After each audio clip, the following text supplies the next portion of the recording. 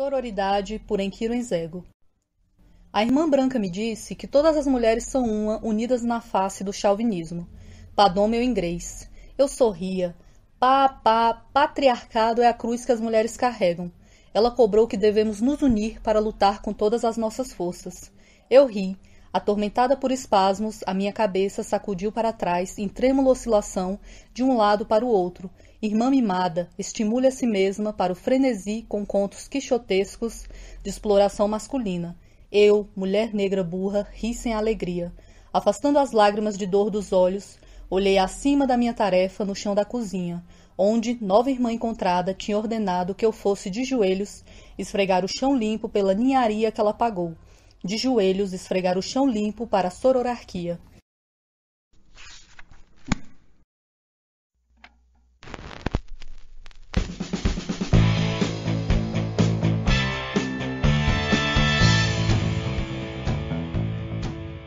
Olá, meu nome é Marcos Carvalho Lopes e esse é o podcast Filosofia Pop.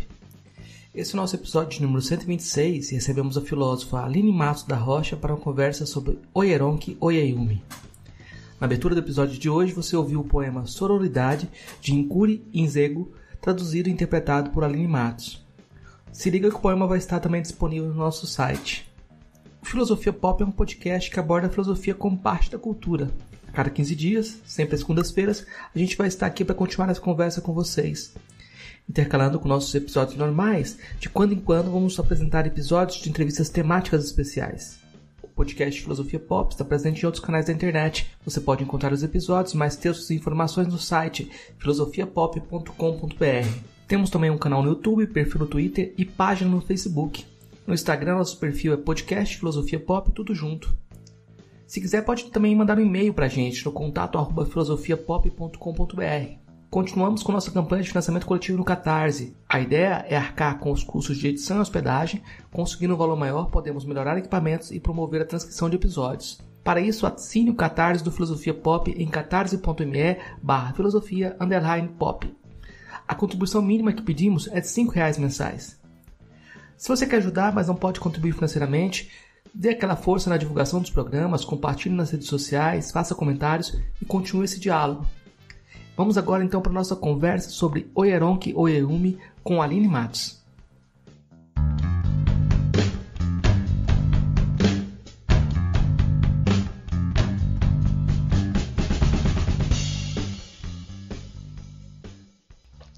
Então, hoje a gente conversa direto de Brasília com a Aline Matos da Rocha, ela é graduada em Filosofia, com habilitação em licenciatura e bacharelado pela Universidade de Brasília, mestrado em Filosofia pela Universidade Federal de Goiás e é doutoranda do programa de pós-graduação em Metafísica da Universidade de Brasília, na área de Ontologias Contemporâneas. Realiza estudo e pesquisa em Filosofia com ênfase em Ética, Filosofia Política, Ensino de Filosofia, Filosofias Africanas e as intersecções entre filosofia, raça e gênero. Atualmente, ela desenvolve uma pesquisa sobre a epistemóloga nigeriana Oyeronke Oyeyumi, é, orientada pelo professor Anderson Flor do Nascimento. Compõe a coordenação do Núcleo de Estudos de Filosofia Africana da UNB, é membro da Associação Brasileira de Pesquisadoras Negras na área de filosofia africana e filosofia afrodiaspórica e editora associada da Polemos, revista de estudantes de filosofia da Universidade de Brasília. Então, hoje a gente vai conversar com a Aline, né, é, eu vou, vou começar perguntando quem é a Oeron Kyoyumi, e eu acho que aí, é, junto com essa questão sobre quem é, eu acho que é interessante saber uhum. como que você entrou em contato com a obra dela, né? Ah, sim, é importante a historicidade dos percursos. A Oyeyumi tem um livro chamado Jornada pela Academia, um texto pequenininho, Jornada pela Academia. Esse texto está traduzido ele está publicado lá no site de Filosofia Africana, que é um site gerido pelo professor Anderson Flor, e lá ela fala um pouco dessa jornada dela. Então, a professora Oyeron Oyeyumi é uma filósofa de é uma filósofa nigeriana de origem iorubá. Ela atualmente dá aula na Stony Brook University em Nova York, mas ela tem uma formação em ciência política na Universidade de Badan, na Nigéria e uma formação em sociologia na Universidade da, da Califórnia. Né? E aí ela vem pesquisando a questão do gênero, sociologia do gênero, sociologia do conhecimento, E aí é uma das grandes questões que se coloca né, assim, na filosofia, é se ah, a professora Oyeumi é filósofa, tendo em vista a formação dela. Assim, é uma questão que nos nossos cenários brasileiros ela é colocada, mas fora desse nosso cenário brasileiro isso não é levado tanto em conta. Né? Essa, a postura, a posição da Oyeumi nas filosofias africanas, principalmente na filosofia africana contemporânea, ela já está cristalizada. Ela participa de muitos compêndios, principalmente desses compêndios que fala da epistemologia de gênero em África. Então, a professora Oyeumi ela vem discutindo a questão do gênero. Ela vem documentando é, a construção do gênero na sociedade iorubá, enfatizando que o gênero não é apenas uma construção social, ele é histórico.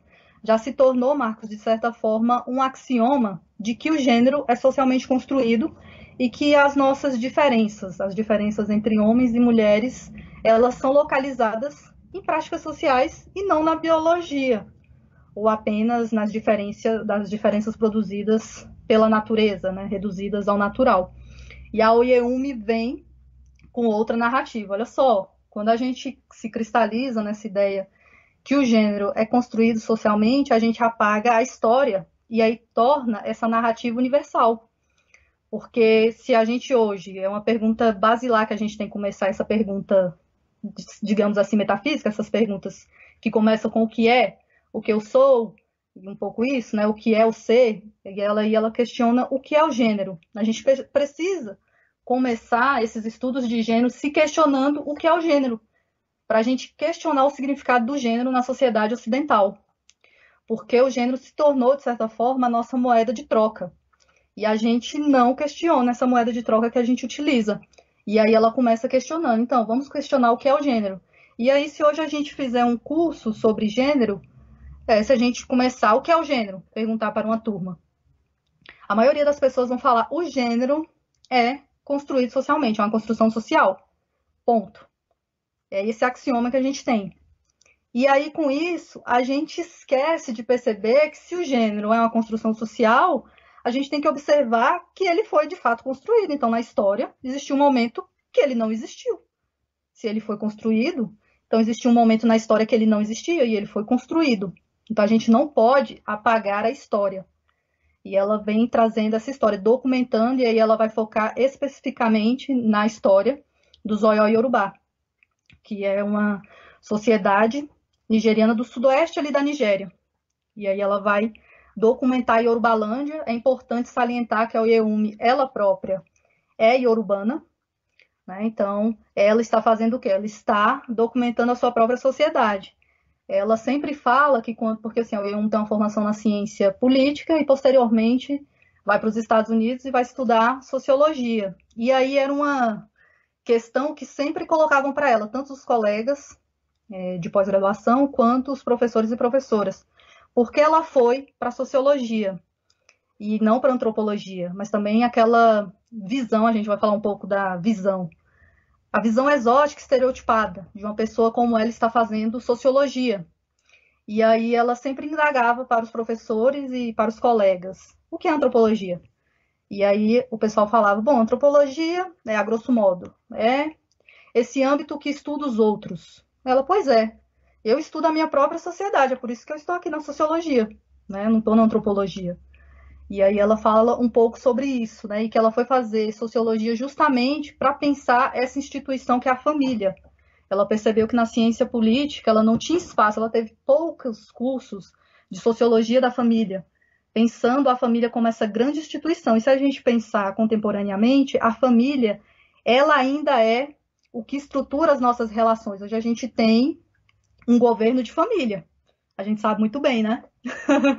que a gente tem um governo ali gerido por uma família, né? E como esses discursos da família mobilizam muito.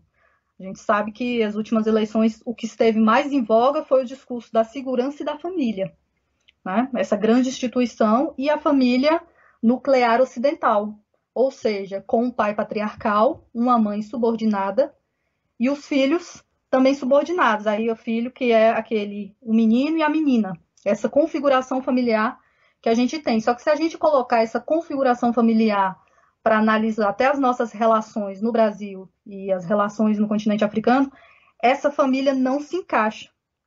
Se a gente hoje pega, aqui a gente pegar qualquer cidade satélite aqui no Distrito Federal, em Brasília, a gente não consegue pegar essa família nuclear ocidental e colocar, né? Conseguir com ela ler as nossas famílias. Então, eu me interessada nisso, ela foi para a sociologia e também questionando a sociologia, falando que essas discussões de família na sociologia, elas não que ela começa a, de certa forma, problematizar os papéis de gênero, os privilégios. É basicamente o modo como a Oyeumi está trabalhando. Ela está, de certa forma, confrontando essas narrativas generificadas que dominam na interpretação social. O que, que o Ocidente faz? O Ocidente pega a sua própria interpretação do mundo social e pega esse discurso cultural e quer colocar em outras culturas. Só que ela fala que isso não pode ser assumido de forma acrítica em outras culturas. Não cabe, é insuficiente. É basicamente essas as encruzilhadas e estradas que a professora Oyeumi está percorrendo no trabalho dela. Agora, eu acho que é importante saber quando e como você teve contato com a obra da Oyeumi é, dentro da sua trajetória da formação é, dentro da filosofia, porque a filosofia geralmente não, não dá espaço para até questões de gênero até pouco tempo atrás eram pouco debatidas, né? Então você trazer um, uma autora que geralmente é ignorada dentro do espaço da filosofia ou que põe questões que é, essa própria autoimagem da filosofia não, não considera como as mais importantes, é, é, um, é um, uma subversão, né? Como é que você começou essa subversão? então, é, eu ingressei na Universidade de Brasília em 2010, no curso de graduação em filosofia, e eu ingressei na universidade através de uma política de ações afirmativas. E em 2010 pipocavam mais essas discussões em relação às cotas, às, às ações afirmativas, à questão da permanência que era uma coisa que a gente sempre pontuava. É que como é que agora a universidade vai lidar com esses estudantes e as estudantes que ingressaram pelas ações afirmativas? Porque o que a gente percebe, Marcos, não é só a universidade é, colocar os estudantes e as estudantes negras na universidade. Tem que ocorrer uma discussão sobre currículos, epistemologias, modos de lidar com as questões dos alunos e alunas negros e negras e a questão da permanência, né? Então, nessa época, eu ingresso também no Afratitude. Eu faço uma seleção e aí eu ingresso no Afratitude, no qual eu me aproximo mais das discussões raciais. E aí eu me aproximo através da literatura, que é interessante. Aí, antes da filosofia africana, eu me aproximo da literatura africana, da literatura produzida pela Paulina Chiziane, o Wally Suinca, a Chimamanda Adichie. E aí, nisso, me aproximando, é, eu encontro o professor Anderson Flor, que hoje é um dos professores que trabalha filosofias africanas em um departamento de filosofia. E nesse momento a gente estabelece de fazer aqueles programas de PIBIC, programas de iniciação científica e eu tenho a possibilidade de pesquisar filosofias africanas. E nessa época o título era A Exclusão Intelectual do Pensamento Negro. Eu estava investigando sobre isso, essa exclusão que existia, questionando os nossos currículos, basicamente questionando por que o nosso currículo, principalmente na filosofia, é um currículo extremamente brancocentrado. E aí eu fui fazer esse PIBIC. E eu percebi, fazendo o PIBIC, que existia uma prevalência muito grande de vozes masculinas, principalmente na filosofia africana, nas filosofias africanas. As discussões que na época estavam começando a pipocar eram discussões centradas no Ramose, no Bidima, dentre outros. Não existia uma filósofa africana no qual a gente estava se debruçando. E aí, na época, o professor Anderson ministrou um curso que na época não tinha o nome de filosofia africana. Hoje, no departamento de filosofia da UNB já existe o curso de filosofia africana com esse nome, mas na época era seminários de filosofia contemporânea, e nisso ele aproveitou para inserir o curso de filosofia africana. Era uma turma muito pequena, porque como era uma turma de seminário de tópicos, a, o pessoal não sabia que a gente estava ali discutindo filosofia africana. Então, assim, a turma, a turma tinha sete pessoas, né? Era uma coisa curiosa. E ali a gente, é, todo mundo aprendendo com todo mundo, de certa forma. Chegou um momento que eu me incomodei muito, porque existia de fato uma narrativa muito androcêntrica. Né? E aí eu fui a pessoa, e eu era a única mulher do curso. Isso é uma coisa que também que tem que ser ressaltada. E aí eu questionei. Eu falei, uai, mas não existe. O que eu percebi é que o curso só tem homens e não existe uma pensadora africana. Como é que é isso? E aí o professor Anderson me apresentou a, o pensamento da Oyeron Oyeumi, e aí, nessa época, eu comecei a estudá-la, e é uma coisa curiosa, essa coisa da linguagem, que a gente também vai discutir, até pensando na questão da tradução. Eu entrei na universidade e eu tinha o verbo to be, aquele verbo to be precário do ensino médio. E aí eu percebi que eu teria que me engajar com a língua inglesa para estudá-la. E assim, hoje eu sou extremamente grata por estar trabalhando o pensamento da OIEUM, porque é um pensamento que me fez engajar com a língua inglesa, é uma língua que eu estudo cotidianamente, mas que me aproximou das pensadoras negras. Né? Então, assim, eu sou grata pela Oyeumi, Alice Walker, Audre Lorde, Bell Hooks, a própria Grada Quilomba. Então, é um pensamento que eu me engajo. Essa língua, a Bell Hooks tem um texto que ela fala no Ensinando a Transgredir, que ela fala da questão da língua, da língua inglesa. É a língua do opressor, mas a gente precisa dela para a gente se comunicar. Então, nessa época aí da graduação, eu comecei a me engajar com o pensamento da professora Oyeumi, isso aí é, em 2011. Eu me formei em 2014, depois fui fazer bacharelado em 2015 para dar conta da graduação. E nesse período também eu decidi fazer uma monografia sobre pensar o invisível, as mulheres negras como produtoras de pensamento filosófico. Eu diagnostiquei na filosofia que a gente não tinha as vozes das pensadoras negras. E aí eu fui estudar basicamente Sueli Carneiro, Audre Lorde e Aoyeumi. Então eu trouxe três pensadoras negras, é, uma brasileira, outra estadunidense e nigeriana, que é a Aoyeumi. Né? E aí fiz a intersecção, fui pensar e depois o movimento, eu fui fazer o mestrado na UFG, pesquisei o diálogo da Oyeumi com Foucault, né, que a gente ainda tem que fazer um pouco esses diálogos, que assim, eu não acho esses diálogos com o cânone diálogos ruins, porque parece assim, quando a gente está trazendo as filosofias africanas, parece que a gente está jogando fora o cânone, em momento algum. Pelo menos a minha posição não é jogar fora o cânone, eu aprendo muito com o cânone. Só que a gente precisa também questionar o cânone como essa história única, como diz a Chimamanda Adichie no vídeo dela porque se torna o único referencial. E aí isso é ruim, porque solapa os outros pensamentos. E aí, quando se constitui como único, aí provoca um, estrago, uma invisibilização, um apagamento muito grande. E aí, isso aí a gente tem que tematizar. Eu sou da filosofia, você também é da filosofia. Pelo menos eu fui fazer filosofia porque eu sou uma pessoa que me coloco muitas questões e eu sempre acreditei que a filosofia é esse lugar do incômodo.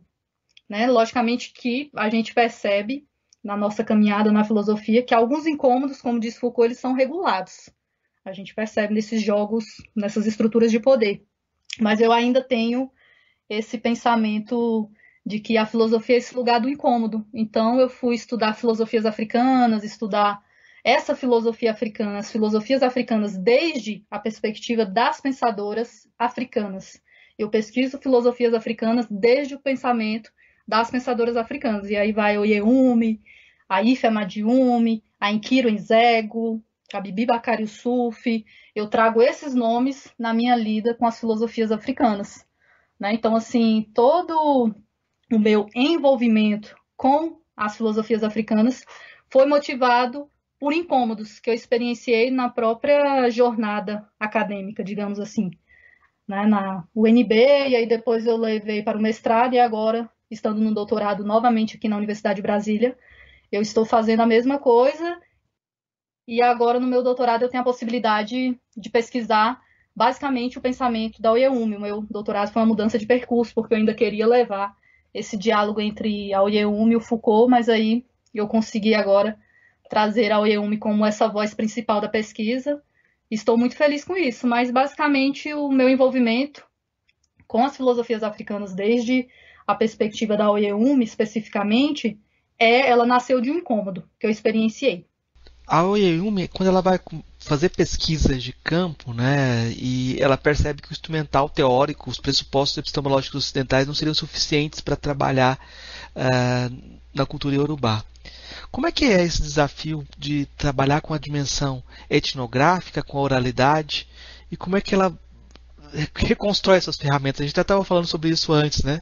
Da necessidade que ela tem de construir suas próprias ferramentas, né? Sim, né? Assim, gente pensando um pouco nesse âmbito da filosofia como essa criação de conceitos, de ferramentas, a Uyeumi ela vai é, forjar suas próprias ferramentas, utilizando aí uma metáfora ogúnica, né? Pensando em Ogu como esse orixá da forja.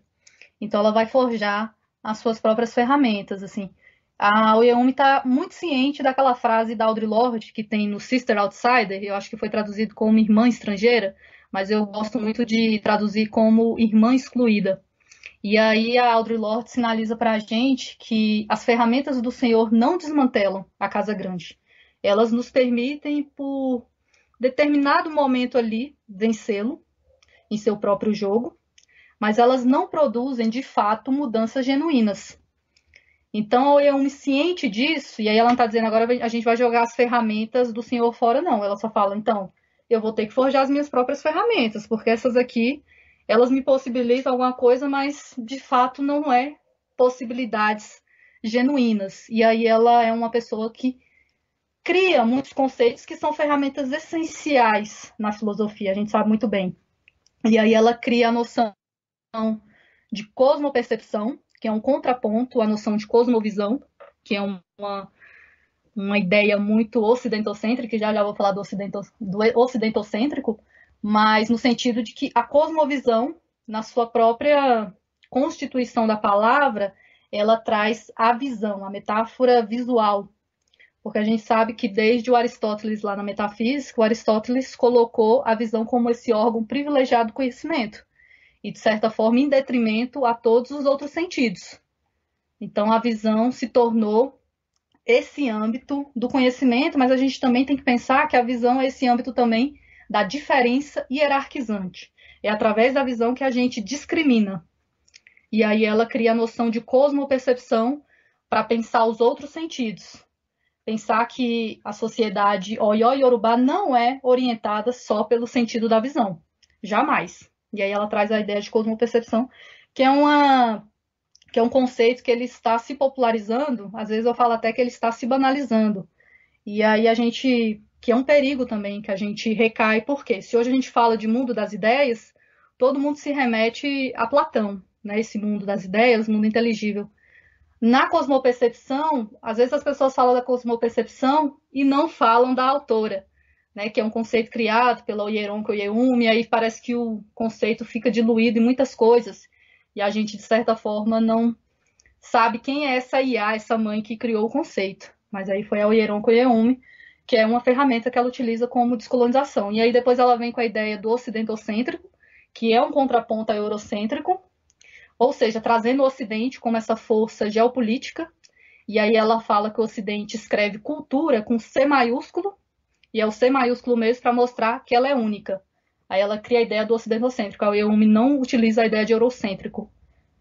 E aí ela cria também a ideia da, de oxunismo, que é uma das ideias assim que a gente vem mais trabalhando, que ela está buscando em Oxum uma ferramenta de descolonização do conhecimento, né? Então, basicamente, a Eumi cria linguagens, porque ela acredita que a descolonização ela parte principalmente da linguagem, o modo como a gente nomeia as coisas, como a gente utiliza da linguagem. A linguagem é esse instrumento de comunicação. Agora mesmo eu estou falando com vocês, estou usando linguagem, mas estou falando com vocês, é a linguagem. Então, a linguagem é esse instrumento que a gente precisa descolonizar e ser vigilante com ela também, porque foi através da linguagem que a sociedade Oió Yorubá foi colonizada. A historiografia dos Yorubás foi escrita de outro modo e como a linguagem mudou completamente a estrutura Oió Yorubá. Como na linguagem ela vai avaliar a percepção de gênero e diferença entre os Yorubá? Então, é, a gente aqui tem essa coisa, eu falei no início, né, que a, se tornou um axioma de que o gênero é uma construção social e que as diferenças, essas diferenças sociais entre os homens e as mulheres são localizadas em práticas sociais. E aí a Oyeumi, trazendo essa palavra de diferença, ela fala, olha, o problema da diferença na sociedade ocidental é porque ela é utilizada para excluir, para violentar e para criar relações hierárquicas o que não acontecia na sociedade Oió-Yorubá, e é importante salientar que é a sociedade Oió-Yorubá pré-colonial, anterior colonização, que ela chama atenção que foi uma colonização que ocorreu ali entre o período de 1862 e 1960, mas aí pensando em períodos formais, né, datados, mas a OIEUM ela não considera só esse período formal, entre aspas, da colonização, ela traz as narrativas do tráfico escravagista atlântico, que na nossa historiografia isso é deixado um pouco de lado. Né? A gente desconsidera essa parte dos navios negreiros. E aí quem faz um trabalho muito bonito em relação a isso é a professora Ana Maria Gonçalves em Um Defeito de Cor, ao trazer a narrativa da Kendê, que a Kendê está contando a narrativa dela desde os navios negreiros. E o quanto os navios negreiros mudam completamente é, o modo como a colonização se dá. É a partir do momento que você captura uma pessoa e coloca no navio negreiro, a colonização começou ali. A gente tem uma noção de colonização como aquela e tá. A gente foi capturados e capturadas, e a colonização só começa quando esse corpo negro chega no Brasil. Não, a colonização começa desde essa travessia, né? essa filosofia da travessia e as consequências disso. Então, de certa forma, a Oyeumi está trazendo esses relatos, né? como a linguagem ela modificou profundamente as coisas. Em que sentido? Para o Oyeumi não existia, na sociedade Oiorubá pré-colonial, nomeações de gênero. Igual a gente tem essa coisa de filha, filho, irmão, irmã, não existia. Mulher, homem, menino, menina. E aí a colonização nomeou toda essa sociedade através do gênero. Isso muda completamente. Por quê? Muda especialmente as estruturas de poder. Porque o poder, ele não estava alicerçado em um corpo. Porque olha só, quando a gente nomeia um homem, vamos colocar agora, a gente está nome... o Marcos é um homem. A gente está visualizando o corpo do Marcos. Então, o Marcos é um homem que tem determinado órgão sexual, eu sou uma pessoa que tem um determinado órgão sexual e isso confere papéis, prestígio ou lugares na nossa sociedade. Na nossa sociedade, a gente ainda tem a noção de que o falo fala. A voz de um homem tem mais peso do que a voz de uma mulher. Pensando basicamente nisso. É por isso que é The Invention of Women, a invenção das mulheres. Né? Porque, de certa forma, para Oyeum, tornar-se mulher é ser o outro. Esse outro que é subordinado. E isso aí muda completamente, porque uma coisa que ela está sinalizando é como, é como é que na historiografia anterior à colonização a gente não tinha essas nomeações de gênero. Então, quando a gente faz a tradução a gente começa a traduzir que os postos de governância automaticamente eram ocupados por homens. Como a gente faz isso? Quais os critérios que a gente utilizou se lá a gente não conseguia, não tinha as designações de gênero? Mas aqui no Ocidente a gente tem muito nítido o quê? Se eu falo hoje, Marcos, a gente vai dar uma aula sobre pensar o corpo político. Jamais a gente associa esse corpo político ao corpo feminino. Se a gente falar assim, Marcos, agora a gente vai falar sobre gangues, automaticamente as pessoas vão pensar nas gangues como um corpo negro. Esse corpo que a gente fala assim, agora a gente vai pensar sobre a violência. Aí a gente associa a violência a determinado corpo. Essa coisa que a gente fala muito no Brasil, principalmente agora na pandemia, que a pobreza ela tem cor. Né? Então, um pouco isso. E aí a linguagem, ela traz muito isso. A gente percebe que a linguagem ela generifica e racializa. Então, basicamente, a EUME, é, mais do que pensar gênero, ela está pensando sobre generificação. Generificação como um processo inerente nas nossas relações sociais, em que, em que todos nós, todas nós, estamos implicados nele. Em algum momento, eu vou fazer um processo de generificação, Marcos também. Então, um pouco isso, os nossos ouvintes e as nossas ouvintes vão fazer. A gente, nós estamos implicadas nesse processo de generificação. Né? Então, ela está, de certa forma, pensando a linguagem nesse sentido. É, eu acho que é, talvez a gente tenha que voltar um passo atrás ou que perguntar mais sobre como é a família Yorubá, porque você está falando de uma ontologia relacional, não é separar um, um, um termo e dar o significado dele isolado, né? Você está falando dessa construção, construção relacional das, das próprias posições, né? É, eu queria que você comentasse um pouco sobre isso, porque eu acho que isso modifica bastante o jogo, não é? Sim, a questão das famílias é muito importante porque quando ela traz a interpretação das famílias, especificamente das famílias iorubanas da Yorubalândia, ela está mudando sim esse jogo em que sentido? Ela começa a questionar a instituição do casamento, da maternidade, as linhagens. O que ela está pensando é que essa família iorubana, as famílias africanas, né? Mas assim, vamos focar aqui no, nos Oió Yorubás, ela não é uma família nuclear ocidental, ela não tem essa configuração. Isso foi o que assustou muito a professora Oyeumi quando ela chegou nos Estados Unidos. As pessoas falando dessas configurações familiares e ela falava assim: então, mas eu venho de uma comunidade que as configurações não são essas. E ela, nesse texto, Jornada pela Academia, ela sempre sinaliza que a voz dela era muito invisibilizada. Mesmo quando estavam discutindo o continente africano, ela, como uma pessoa africana, ela era desconsiderada e ela logo percebeu que para o conjunto epistêmico do Ocidente, as falas, a voz, a episteme africana, elas não contavam muito para teorizar essa condição humana. E aí ela pensa, então, as configurações da sociedade iorubá, as famílias, não se encaixa nessa ideia da família nuclear ocidental. As famílias são estendidas, são expandidas, há uma linhagem. Nós não nos organizamos através do gênero, que o fato de eu ser uma pessoa que tem determinado sexo, eu vou ocupar determinado papel. Não é isso. As posições lá, elas são organizadas através da senioridade. É interessante a gente pensar na palavra sênior, porque se a gente dividir a palavra, eu gosto de fazer isso, sênior, tem sênior, aí tem ori e tem idade. Ori é a palavra iorubá para cabeça. Então, é senioridade, essas relações etárias, relações. As, o que vai contar é a idade cronológica, e essa idade cronológica é sempre relativa. Agora eu posso ser, não sei, um exemplo, é, eu sou mais velha do que o Marcos.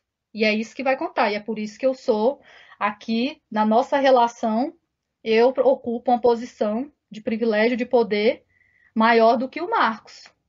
Na nossa sociedade isso é um pouco inconcebível porque a gente já parte da estrutura que é a voz masculina que comanda tudo. É igual aquela. É, eu não sei se isso é um exemplo tão bom de fazer no momento que a gente está, mas assim, é um, um exemplo que dá para a gente tocar um pouco isso. Mas é quando a gente perde familiares, né, principalmente a figura paterna na nossa sociedade ocidental. E aí vamos pensar que existe o filho e a filha. E aí a filha é a mais velha, o filho é o mais novo. E aí sempre tem um familiar que chega para o filho, vão pensar que a filha tem 20 anos, o filho tem 15 anos. E sempre tem um familiar que chega e fala assim: então, Fulano, João ou, ou José, está na hora de você se tornar um homem, você ser o um homem da casa, sendo que a filha é a mais velha. Né? Será que um menino de 15 anos tem condição de cuidar da irmã que tem 20?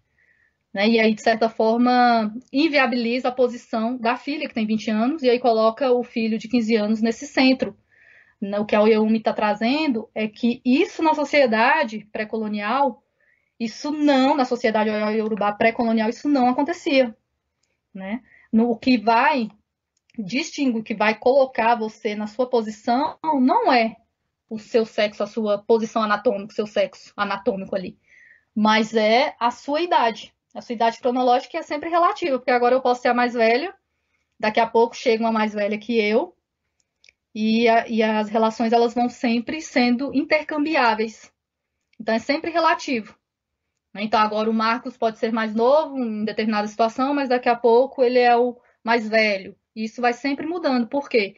o que a gente aprende com o IE1, principalmente é um pensamento que a gente tem que considerar muito agora na nossa sociedade, que a gente percebe que existe uma disputa, a gente é uma sociedade que não dá valor à senioridade, às pessoas mais velhas, né? A gente tem agora essa disputa da vacina, quem deveria tomar a vacina, as pessoas mais velhas ou as pessoas mais jovens, tendo em vista essa noção da produtividade.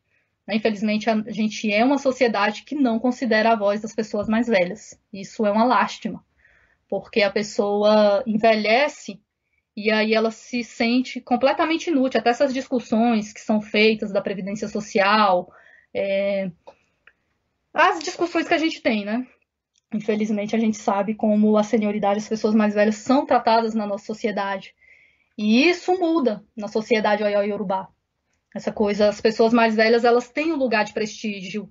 E as pessoas que são, a gente ainda experiencia essa lógica, Marcos, nas comunidades de terreiro nas comunidades de terreiro, a senioridade, ela, o modo como a gente se relaciona é através da senioridade. Então, uma criança que tem quatro anos é mais velha que eu, é uma pessoa que eu tenho que referenciar, né? referenciar e reverenciar, porque é mais velha. Então, muda as lógicas de posições. Então, eu sempre falo que nos terreiros a gente consegue ter uma compreensão melhor do pensamento da Oyeumi, porque essas relações, elas, a gente vivencia essas relações nas religiões de matrizes africanas, essa questão da senioridade. Né? Então, um pouco isso muda. O que ela está trazendo é: olha, as nossas relações não eram alocadas em corpos sexuais, em que o fato da pessoa ter determinado órgão sexual confere a ela um prestígio, uma voz. Não, lá é a senioridade, que é sempre relacional. Ou seja, a mais velha só existe por conta da mais jovem, e a mais jovem só existe por conta da mais velha. E aí a gente tem que frisar que aqui a gente já está falando de forma generificada, né? Que aí já é tradução, é ficar mais velho, mais velho, a mais jovem, o mais jovem. Tem esse artigo o e a, que a gente sabe que tem nas línguas coloniais, né? A gente, isso a gente tem no inglês, o the, que aí é o o e o a, a gente tem no francês. Então é isso. Não tem como, né, escapar no, no, no alemão também tem. Então tem essas complicações de tradução. E aí a gente também tem que evidenciar que a Eumi está escrevendo em inglês. Né? O livro dela é em inglês, é o The Invention of Women, que é um livro fruto da sua tese de doutoramento, que não tinha esse nome, A Invenção das Mulheres, era Mothers, Not Women, Mães, Não Mulheres, construindo o sentido africano para os discursos ocidentais de gênero. E aí, quando ele se transforma em livro em 1997, ele vem com esse título, A Invenção das Mulheres. Mas a OE1 ela não está pensando na questão da mulher. Que aí a gente pode falar, não, então agora ela, a, análoga a Simone de Beauvoir, ela está pensando na questão da mulher. Não. Ela não está pensando na questão da mulher especificamente, ela está pensando nesse processo de generificação da historiografia iorubá. E aí ela faz um trabalho, Marcos, de arqueologia e genealogia. Ela faz uma arqueologia e genealogia do gênero. Né? E aí é por isso que é uma sociologia do conhecimento. Por quê? Ela está questionando se hoje o gênero se tornou a moeda corrente entre iorubanos e, defendendo, e defendido também com unhas e dentes pelas próprias pessoas iorubanas, a história desse processo precisa ser contada. Porque, assim, a gente tem uma grande, uma vasta crítica ao pensamento do Oyahumi. E de pessoas também nigerianas. A gente tem a Bibi Bakari Yusuf, é, a própria professora Rita Segato, que é um texto que mais que a gente mais discute aqui no Brasil. Então, existem posições contrárias ao pensamento dela. Né? Mas aí ela fala assim: isso aí já é também um, um lastro do ocidentalismo, desse paradigma ocidental, que faz com que as próprias críticas ao pensamento dela estejam alicerçados em quadros teóricos ocidentocêntricos. Se a gente olhar a crítica da professora Bibi Bakari Suf, que é nigeriana também, tem um texto chamado Os Yorubás Não Fazem Gênero, ela ali está utilizando de ferramentas ocidentais que são legítimas, mas assim parte de outro lugar, também tá que utilizando ferramentas ocidentais para questionar ferramentas que o Yang está criando para pensar a sua própria historicidade. Aí a professora Bibi Sul vai trazer exemplos em Wittgenstein, em Nietzsche, que a gente sabe que não dá conta, né? Então um pouco isso. Vi uma pergunta aqui, eu acho que é interessante. Você tem o título A Invenção é, das Mulheres. E tem algum é, parentesco com a invenção da África, do Mundimbe?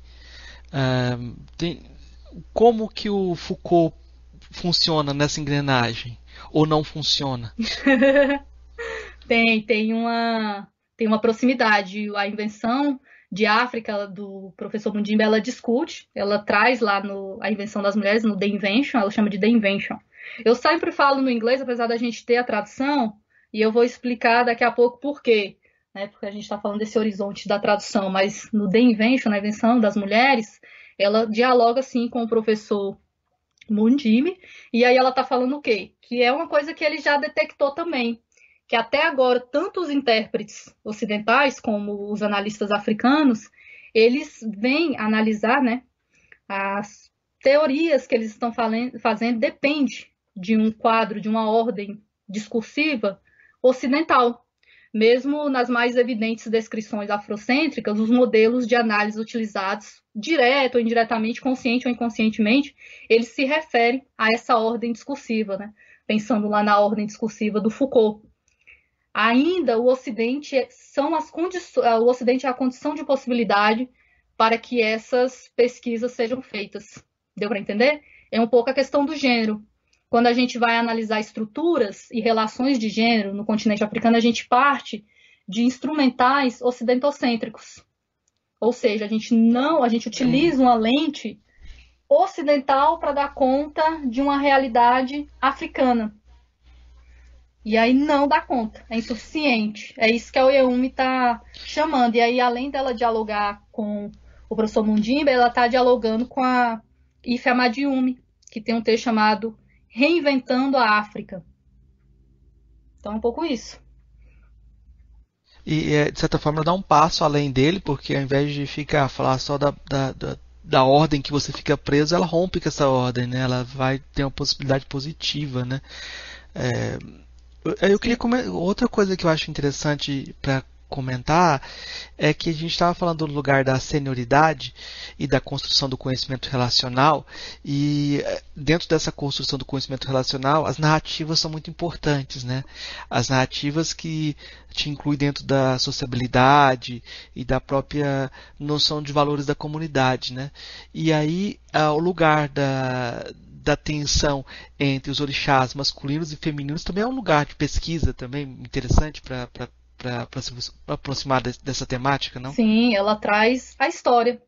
O Yumi traz uma história. Pra, parece que a gente esqueceu que nós somos feitos e feitas de história. Achei bonito você começar a conversa perguntando sobre a minha própria história. Qual é a história implicada para que eu estude filosofias africanas desde a perspectiva de pensadoras africanas. Existe uma história, logicamente, tudo tem história, nós somos compostos e compostas de história. Apesar que a gente sabe que ainda vigora, pensando na ideia lá do Benjamin, do Walter Benjamin, é, sobre o conceito da história, a gente sabe que ainda vigora na nossa sociedade uma história dos vencedores, a história dos caçadores, pensando naquele provérbio africano, que enquanto a história da caça for contada através dos caçadores, os leões serão sempre os perdedores. Esse é um, um provérbio africano para tocar um pouco nessas relações. Então, a Yeomi está trazendo a história. Ela faz análises sócio-histórico-filosóficas. Então, ela está trazendo a história e aí a gente pensar também como as divindades nesse processo de generificação, que aí é mais do que gênero, a gente está pensando na generificação como esse processo colonial, que ainda existe, perdura. As divindades também foram juntas. Né? Então, assim, a gente começou a pensar na posição anatômica dos orixás. E aí a gente cria hierarquia até entre os orixás. Coisa que, na, que lá na estrutura pré-colonial, Oió e Yorubá, isso não fazia o menor sentido. Ninguém lá estava teorizando qual era o sexo de Oxum, qual era o sexo de Ogum, o sexo de Oxalá. Né? E aí ela tá falando, ela traz um exemplo muito importante, que é o exemplo de, Obota, de Obatalá, Olodumare, que aí foi generificado como esse, foi considerado como esse pai celestial. E aí já tem a generificação, né? Colocou Obatalá, Olodumare como esse pai celestial.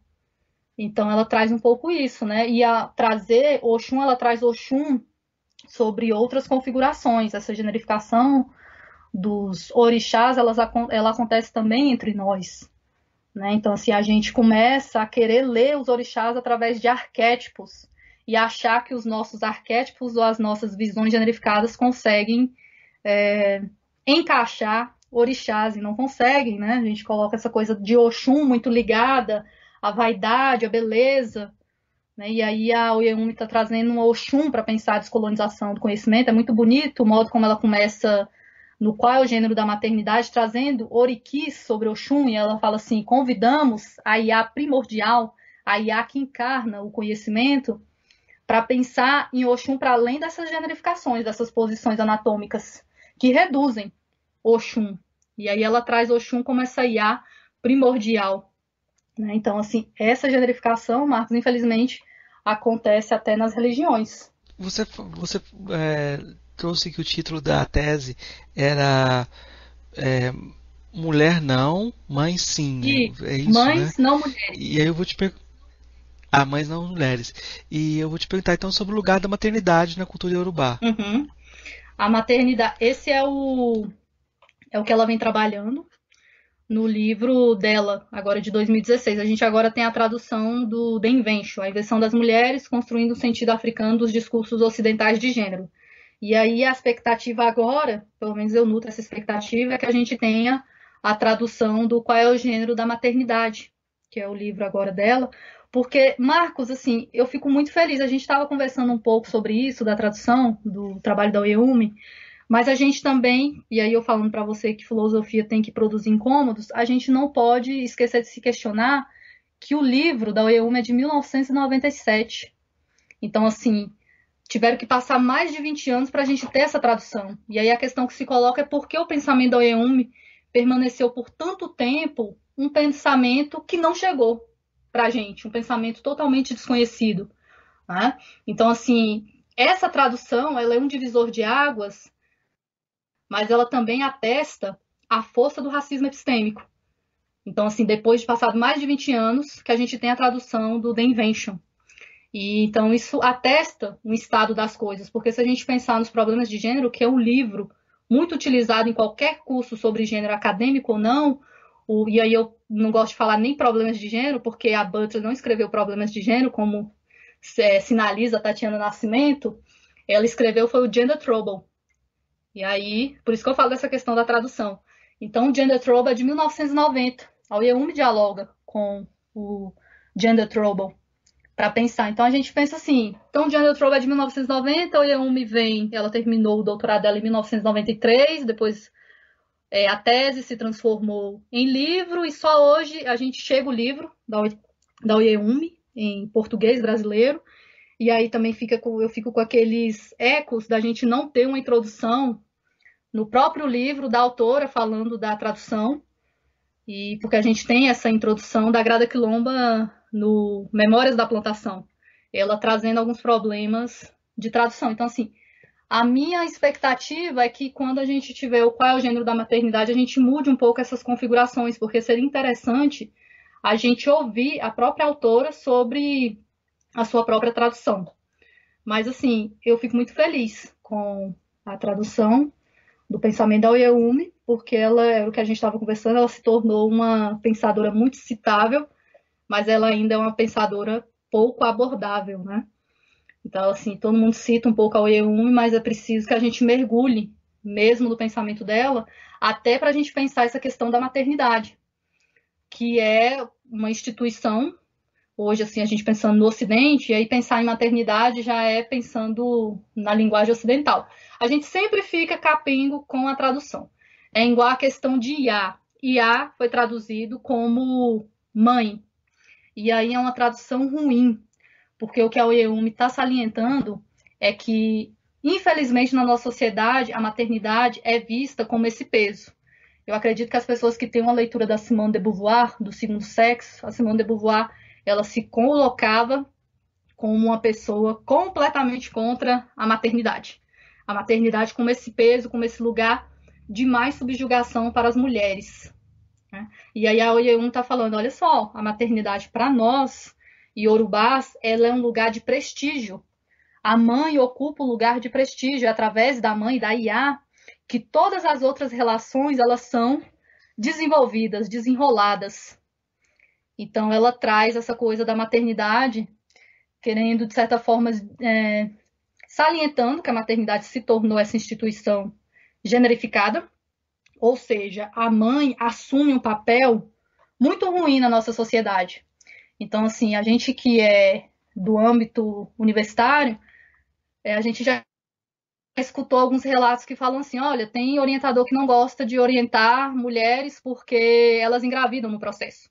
Ou então, se for em uma entrevista de emprego, um homem e uma mulher, eles vão é, contratar o homem porque tem um receio que a mulher tem os filhos, e aí ou ela vai engravidar no processo, vai ter a licença maternidade, enfim, é mãe. Mas aí a gente não percebe que nessa relação e fica essa coisa do peso, né? A mãe que carrega todos os pesos. Mesmo se o cara for um pai, não, mas aí é de boas. Mas não, ela é mãe, ela que vai ter que faltar o serviço para cuidar das crianças. E aí a Oyeumi está trazendo outra noção de maternidade, que não é essa noção generificada, porque mãe fica muito com essa coisa é, presa, essa instituição que se tornou essa instituição patriarcal. E aí ela traz outra configuração, por isso que no livro ela questiona qual é o gênero da maternidade. E aí ela muda as narrativas em relação à mãe. E aí eu falando da questão da tradução, tem algumas coisas que com a tradução a gente perde. Se a gente pensar na palavra inglesa mother, e aí a gente pega esse M e coloca entre parênteses, sobra o outro, other. Aí a mãe como outro. E na nossa sociedade a mãe ainda é esse outro. É nesse sentido. Eu tô pensando um monte de coisa aqui, tenho que articular uma pergunta. esse, é, esse é o problema da Neume. Ela deixa a nossa cabeça de cabeça para o ar, assim. Ela faz isso, assim, ela modifica o modo como a gente pensa. E eu acho isso muito bonito. Né? Ela coloca mesmo ela é capaz de dinamizar o nosso pensamento para começar a pensar outras formas, outras configurações, outras ontologias. Ela nem pensa a epistemologia separada da ontologia, ela pensa numa epistemontologia. Né? Então, isso é bom. Não, tem, tem, muitas coisas assim que a gente podia perguntar em termos mais técnicos, mas eu pergunto eu perguntar para você, nessa concepção de maternidade, ela se afasta da ideia do, do somatocentrismo. A mãe não é aquela só que, que, que gera. Como é que ela vê essa questão? Uma curiosidade. Ah, Porque eu sei que para o pai em sociedades africanas não é necessariamente aquele que não é uma coisa, não tem essa dimensão biológica, né? É, o pai ele ocupa ao ao contrário da nossa sociedade, o pai nas sociedades africanas eles ocupam um papel secundário. E é por isso que é tão triste colocar o Olodumare ou Batalá como esse pai celestial, porque aí tra traz a questão do pai. E aí já é generificado, né? Essa posição do pai. Mas ela, essa coisa da soma, e aí só para explicar um pouco para os nossos ouvintes, as ouvintes, soma é a palavra grega para corpo. E a Oeum está pensando na questão da somatocentralidade, nós somos uma sociedade em que o corpo assume essa centralidade em tudo. Tudo que a gente fala tem corpo.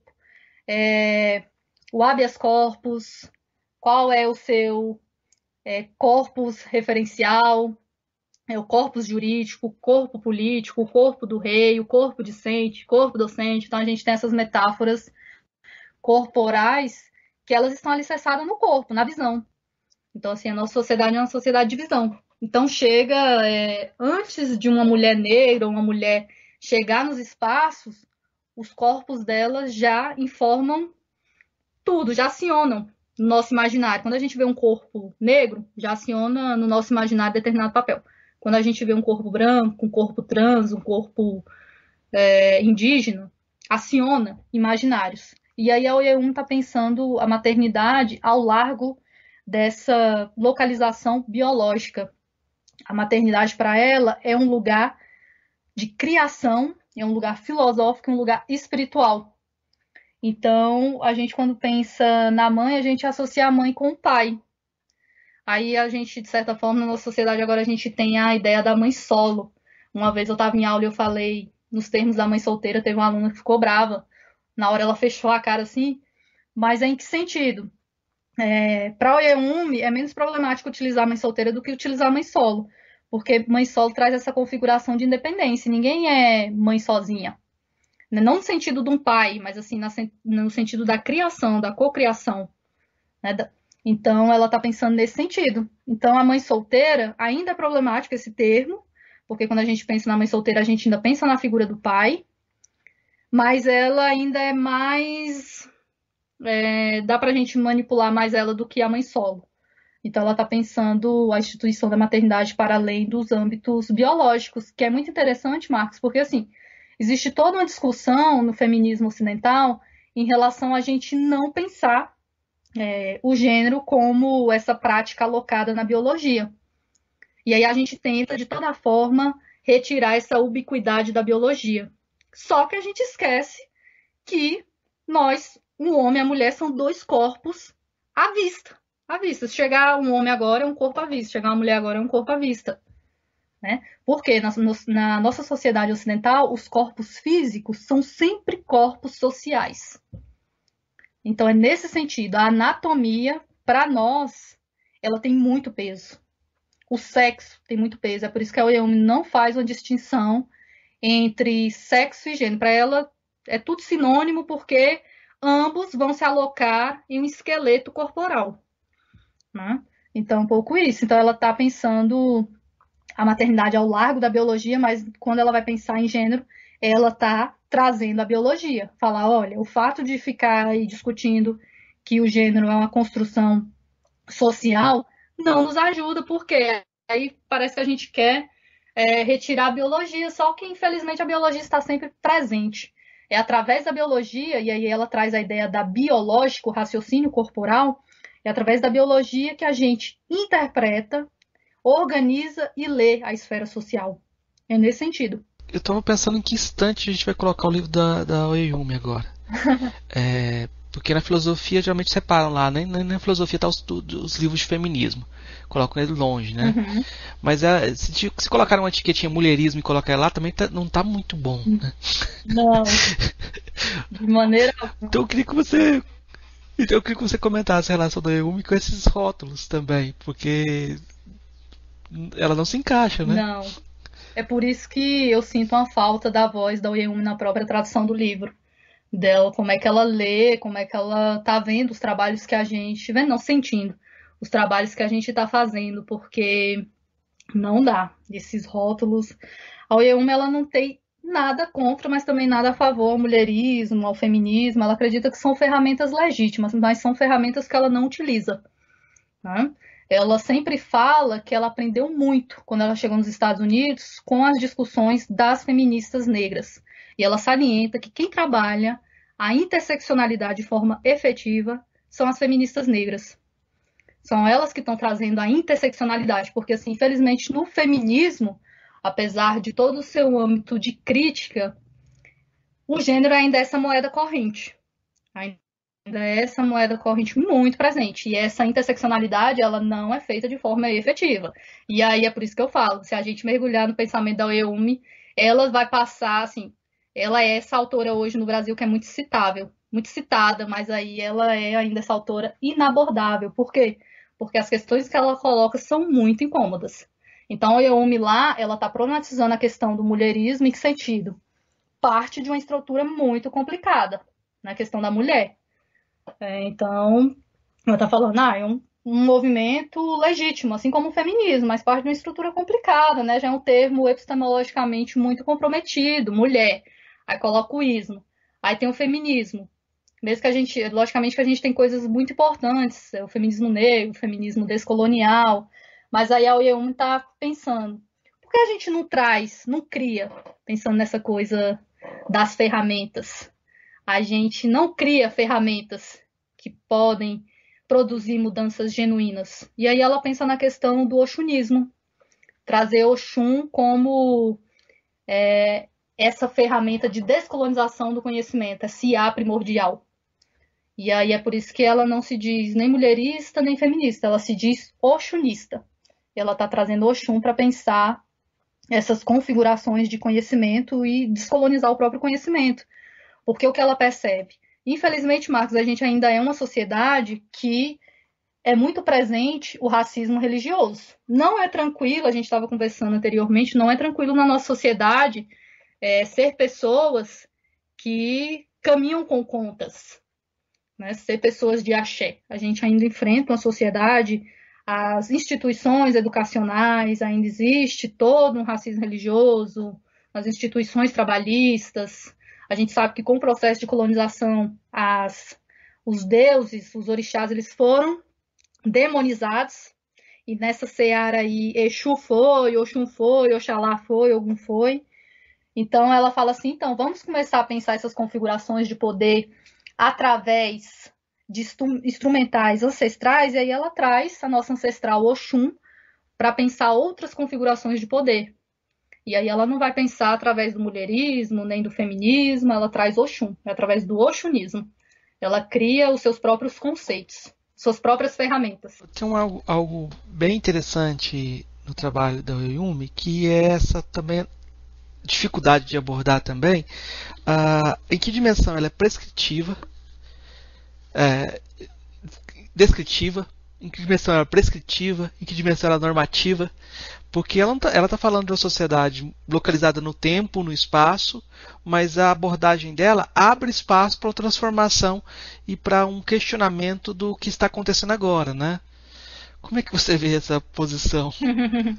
Pois é, a gente que já começa a ver tudo através das nossas lentes também, que aí a gente coloca a prescrição, a descrição, a normatização. A EUM ela não pretende fazer é colocar o trabalho dela nesses âmbitos de ser prescritivo, descritivo ou normativo.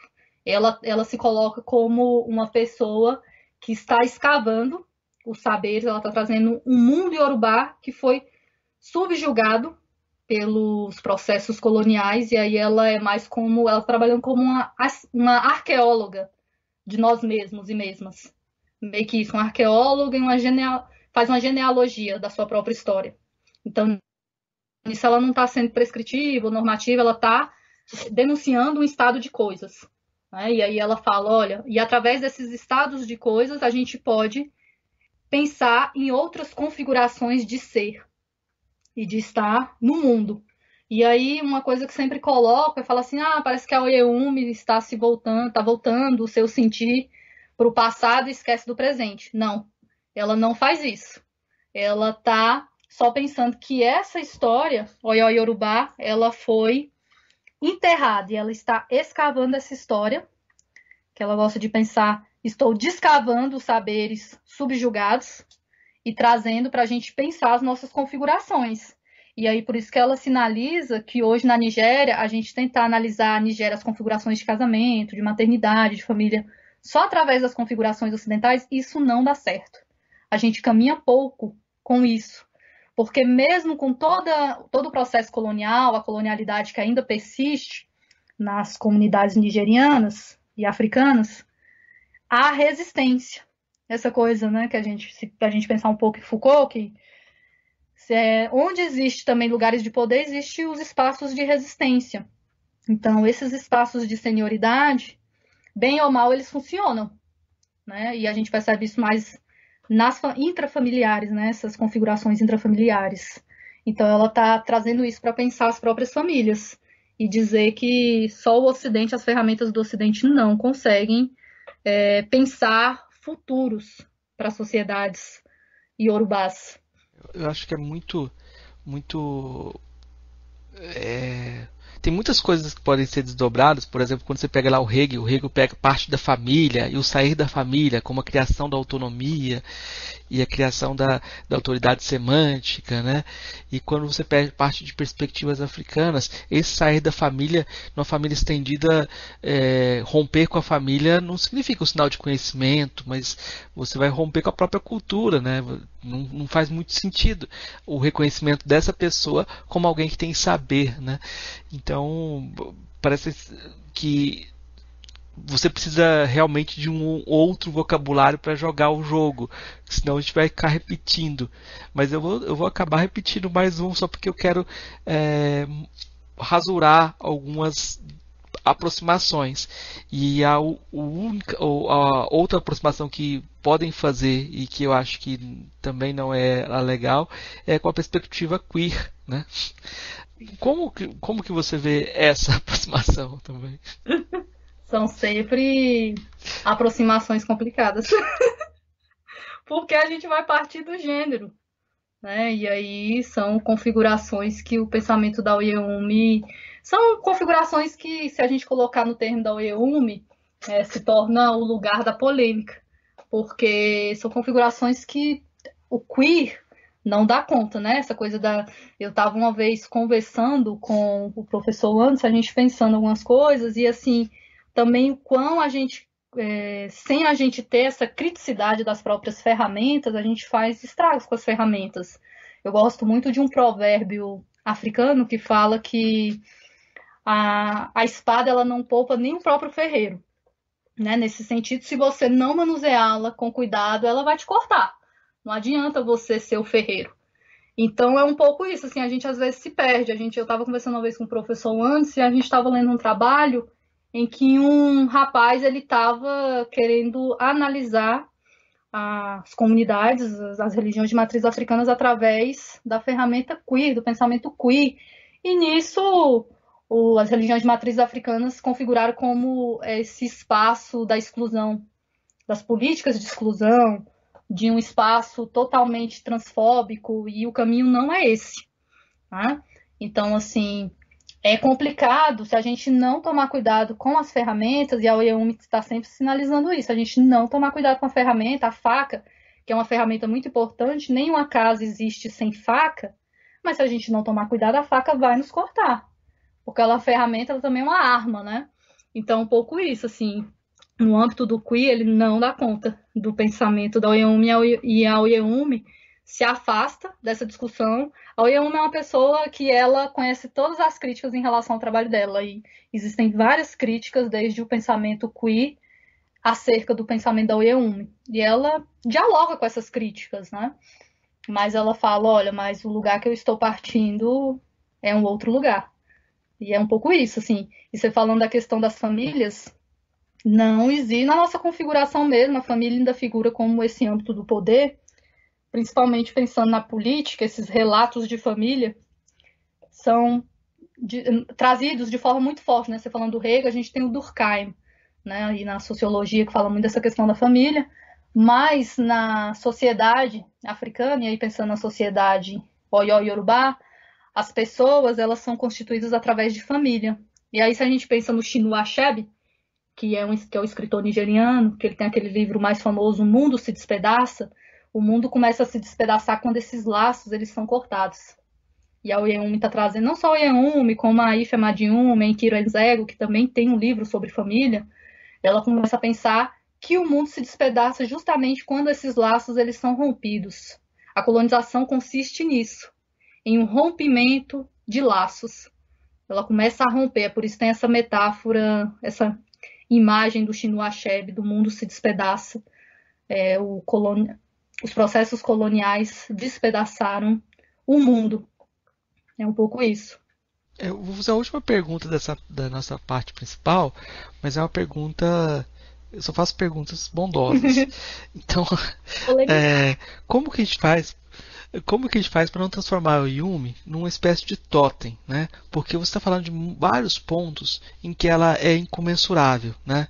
Mas é, é, é como se é, as pessoas pudessem utilizar ela para não conversar também, né? Para romper, cita ela e não, não, a gente não conversa a partir daqui ela para a conversação a partir da citação dela. Então eu sei que você está fazendo você está trabalhando com ela, né? Então você tem outras autoras, você tem outras outras perspectivas, você está somando para dialogar com ela. Como é que a gente faz para dialogar com, com a Oyeyumi para ela não virar um totem, simplesmente, né? Sim, esse é um grande incômodo que eu experiencio na lida de pesquisa, de escrita, de tradução do próprio pensamento da Oyeyumi. É, eu não sei, talvez isso modifique agora com a tradução da Invenção das Mulheres, eu espero que as pessoas de fato leiam o livro e dialoguem, porque o que eu percebo é que a Oyeum se transformou nessa pensadora que é citável, mas inabordável, que é o que a gente estava conversando. O pensamento dela não gera dialética. E a gente também, é, as pessoas se fecham muito ali no que ela fala, ah, mas aí ela traz os dados de que é, anterior à colonização a construção da historiografia urbana tinha gênero e fica só nessa discussão. Só que a Oyeumi, ela dialoga muito com uma autora, que é mais velha do que ela, aí vem a questão da senioridade, e que é uma filósofa de formação em filosofia, que é a professora Enkiro Enzego, que aí é na professora Enkiro Enzego que a gente tem essa noção, noção da, de Oxum, Oxunalidade, né? Oxunality. Ela trabalha esse conceito. Logicamente que a ideia de Oxunismo e Oxunalidade, tanto da professora Enkiro Enzego quanto da professora Oyeronko Oyeuma, elas se distanciam mas a OEUM está sempre sinalizando que a professora Enkiro Enzego tem um papel muito importante no pensamento dela. Essa ideia que a gente não pensa sozinha, a gente está sempre dialogando. E aí, quando você traz esse dado da OEUM não se transformar em um totem, é que a OEUM gere de fato um diálogo, porque parece que fica só nessa, nessa coisa de citar e não há um diálogo. Isso me incomoda muito, Marcos, assim, nos, eu espero que isso agora modifique, né? Mas assim, tem uma figura que é muito importante, que a gente precisa ainda estudar para compreender até a própria, as próprias filosofias africanas, que é a professora Enkiro Enzego, a professora Tanela Boni, né, que você entrevistou ela recentemente, tem a professora Ife Amadiume, mas assim, a gente pensando nessas professoras filósofas de formação, que a gente já tem um diagnóstico que na filosofia o fato de você ter uma formação ou não em filosofia, isso não te legitima para que os seus trabalhos sejam considerados mas eu sinto uma falta, porque assim, a Oyeum se transformou um pouco nessa autora de moda, isso me incomoda um pouco. Mas eu sinto falta desse diálogo, dessa voz que é em Kiran Zego, a professora em Kiran Zego, que trabalha com as filosofias africanas e é uma pessoa que influencia muito o pensamento da Oyeumi, no sentido de pensar a questão do gênero. E ela é uma artista também, e ela que faz a capa do livro do The Invention of Women, pensando essa coisa do Ocidente como esse grande espelho. E aí ela tem essa ideia do espelho, espelho meu. É muito interessante. É por isso assim, eu acredito que é importante a tradução para ver se a gente gera uma dialética no pensamento do Oyeum. Eu sinto falta disso. Esse diálogo maior, esse aprofundamento no pensamento da Oyeume, mas ao mesmo tempo eu sinto falta da voz da Oyeume nessa tradução, né? no sentido de a gente saber o que ela pensa dessa própria tradução, porque a Oyeumi tem a tradução como um horizonte epistemológico, a gente tem que estar sempre problematizando. A tradução ela não dá conta de tudo, né? mas ela é importante porque é o espaço que a gente tem para dialogar. E eu espero que essa, esse totem da professora Oyeumi ele seja rompido com essa tradução que agora chega para a gente. E aí a gente tenha leituras e que esse âmbito do incômodo, porque aí eu acredito que as pessoas vão se incomodar demais com o que a OEUM traz, porque ela incomoda muito. A gente tinha conversado anteriormente sobre a ideia da sororarquia, que é uma ideia que ela trabalha, que vem da professora Enkira Enzego. A professora Enkira Enzego tem um poema muito bonito falando da sororarquia, e aí eu quero ver como é que as pessoas vão lidar com essas discussões. E aí, agora que a professora Inzego e a professora Oyeumi está trazendo para a roda que a sororidade de fato é uma sororarquia. Então, assim, pensando nessas configurações de irmandade, que aí já é generificada, a gente não pensa nem na noção de mãe, a gente pensa na noção de irmã, sister. E aí não dá tão certo, não, porque de fato essas relações aí de sisterhood, sororidade, elas são relações de sororarquia. E aí ela traz outras configurações, porque a gente não pensa nas relações através da mãe, da Iá, que é um pouco, a gente vê isso no espanhol, até entre nós, a comadre. Eu falar assim, eu vou ali visitar a minha comadre. E se a gente pensar é, com mi madre. Né? Então, assim, eu espero. Eu sou uma pessoa que estou aqui esperando, estou fazendo os meus trabalhos, mas também aguardando como é que o trabalho da OEUM vai reverberar agora com essa tradução, como é que as discussões vão ser feitas, quais são os incômodos. E é isso, eu adoro incômodo, eu acredito que a filosofia ela serve para incomodar. E a eu me incomoda muito. Se a gente lê com bastante profundidade, mergulhar no trabalho dela, ela incomoda muito. Eu, eu queria só é, lembrar que às vezes você tem um uso da Oeumi que é bem é, problemático no seguinte sentido. Não, é, questões de mulher, a gente tem, não tem esse problema em África, não. Uhum. A gente não tem esse problema porque nem, nem, é, nem essa questão não existe. É, parece tem a mesma posição de não conversar sobre questões que uh, eu ouço de alguns uh, algumas pessoas africanas que falam assim, não, a mulher tem o seu lugar. São coisas bem distintas, né? Porque um vai falar assim, a mulher tem o seu lugar. E outro vai falar, não, não existe esse problema. Mas aí não você você é, fala como se não tivesse problema nenhum, né? E eu acho que isso é totalmente uh, o, o, o, inverso do, do, da problematização que ela está tá tentando construir, né? Exatamente, né? O fato, assim, eu estou sempre sinalizando, às vezes parece que não, né? Mas sinalizando que o fato de Oyeumi trazer um pensamento anterior à colonização não a exime de refletir e problematizar as atuais condições das mulheres africanas. O que a autora está sempre salientando é que somente o gênero ele não dá conta, porque essa configuração do gênero não dá. A gente precisa é, compreender como corpos e história eles se entrecruzam para construir essa historiografia iorubá. Né? Então, o que a Oyumi está falando, não. Infelizmente, o gênero já chegou, a gente lida com os processos coloniais que a colonização deixou e ainda deixa, e elas estão presentes na nossa sociabilidade, mas aí é importante também a gente olhar para a nossa própria historiografia. É aquela ideia de que para a gente compreender as estruturas de gênero e as relações de gênero, a gente tem que começar com a África, com o continente africano. Acho que o pessoal vai ficar ansioso para que você publique logo sua dissertação de mestrado, publique, uh, termine o doutorado e e disponibilize esse debate todo e para mais conversas também. Eu vou partir para as três questões que a gente faz para todos os convidados, que são questões também bem simples. Né? A primeira delas é aquela que você, como professora, sempre tem que responder, que é o que é filosofia? Eu considero a filosofia como esse lugar de produção de questões. Para mim, filosofia é isso, sem querer reduzi-la, que a gente ainda não sabe o que é filosofia. Por isso que ela é uma questão. eu penso assim, né? Eu sempre coloco para os meus alunos e alunas, eu sou professora de educação básica de filosofia, eu sempre coloco a questão que é filosofia. E aí eu sempre falo, gente, eu vou trazer a etimologia aqui da palavra, a etimologia grega, mas aí eu quero dizer que a etimologia é grega, a prática não. E aí a gente gera uma discussão, mas eu sempre coloco a filosofia como esse lugar das questões é uma produtora de questão. A, é, uma das características da filosofia, para mim, são os problemas que ela nos coloca e nos deixa. Então, para mim, filosofia é esse âmbito de problemas, de, de colocar problemas e colocar questões e questões que não necessariamente necessitam ser respondidas. Porque o que mobiliza a filosofia é a gente estar sempre na busca dessa resposta. Porque na hora que a gente tem uma resposta pronta, parece que a busca meio que acaba e a gente deixa de pensar sobre as coisas. É a ideia do quando a gente coloca o que é gênero e aí a gente responde sistematicamente de que é uma construção social. E aí pronto, se cristaliza nisso e a gente não começa mais a questionar o gênero e se torna uma concepção, um conceito, uma prática que vai sendo diluída e a gente não reflete mais sobre ela.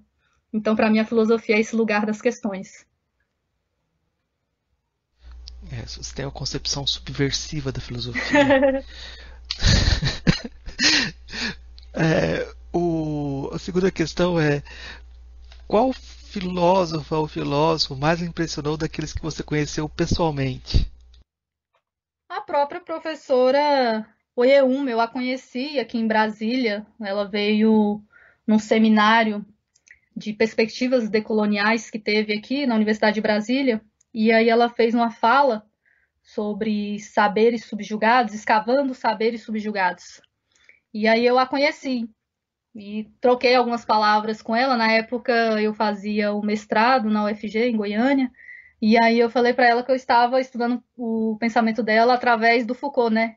History of Sexuality, né? A história da sexualidade. Ela ficou assim meio espantada, mas aí a gente ainda trocou é, algumas palavras, a gente se comunicou um pouquinho e eu fiquei muito feliz né, com a professora Euma. Ela é muito generosa epistemologicamente, na questão da escuta. É uma coisa que a gente estava discutindo, né, Marcos? Você tem um trabalho muito bonito, que é o trabalho de entrevistar filósofas, filósofos africanos e africanas, e aí a gente fala um pouco dessa generosidade que existe né, na, na ideia de conversar, de dialogar sobre o que a gente está produzindo.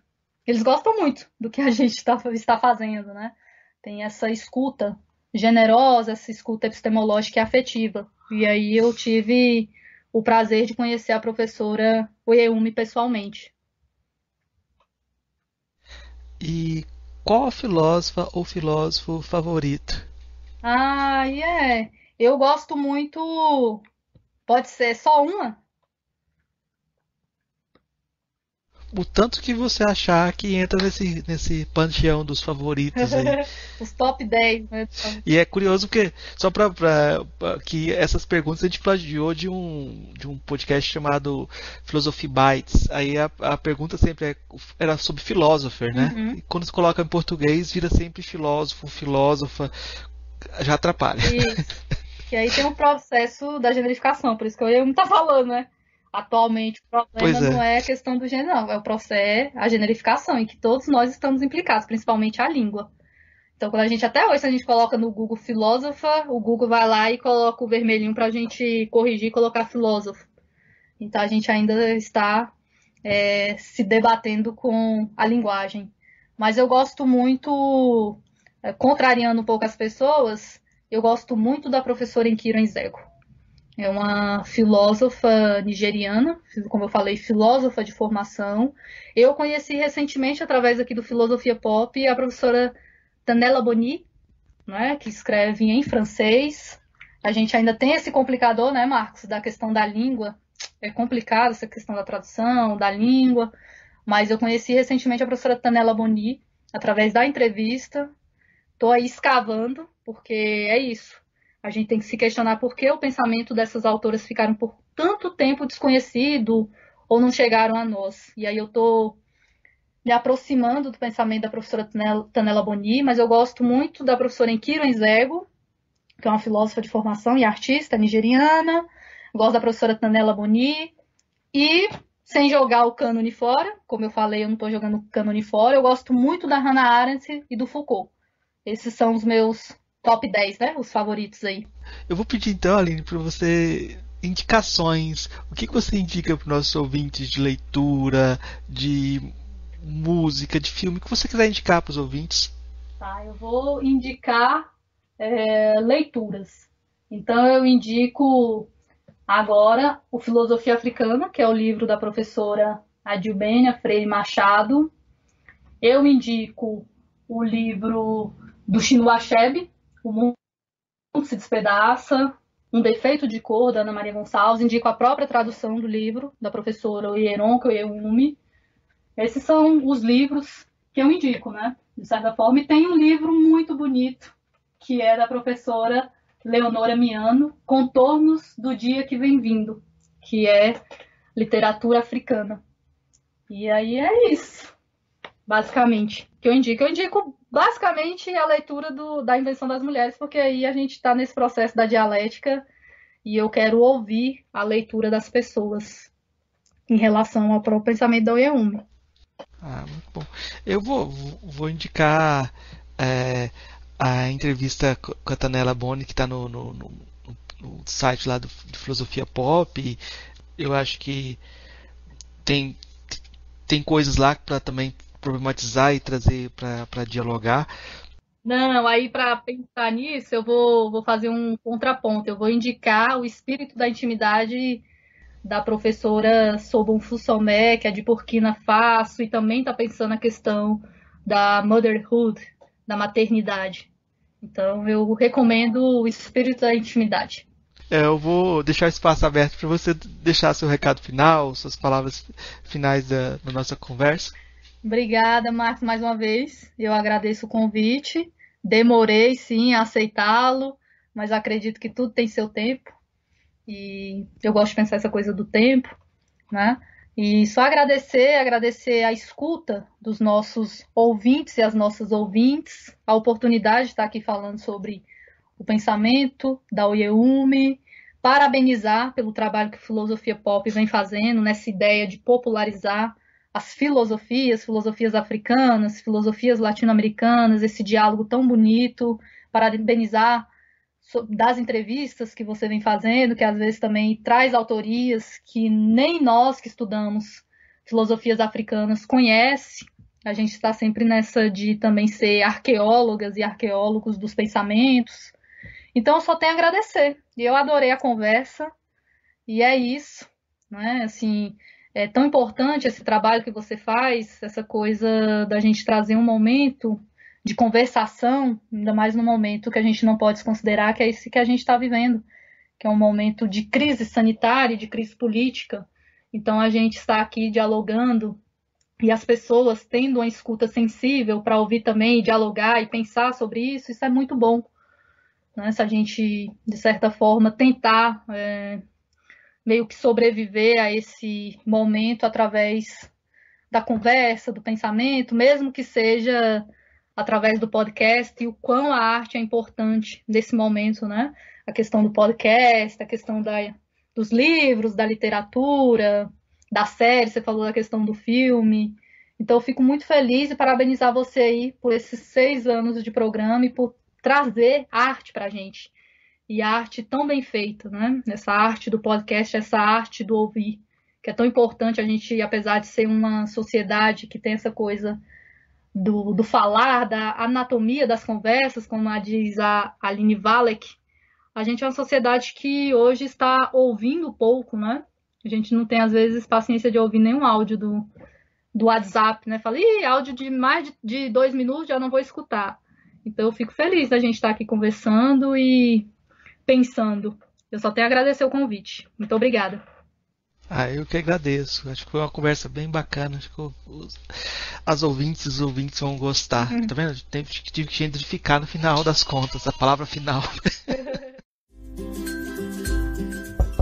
Ei, gostou do nosso episódio? Apoie a gente lá no Catarse, é só 5 reais por mês, o preço de um cafezinho. Ajuda a gente a continuar divulgando a filosofia no Brasil. catarse.me barra filosofia underline pop.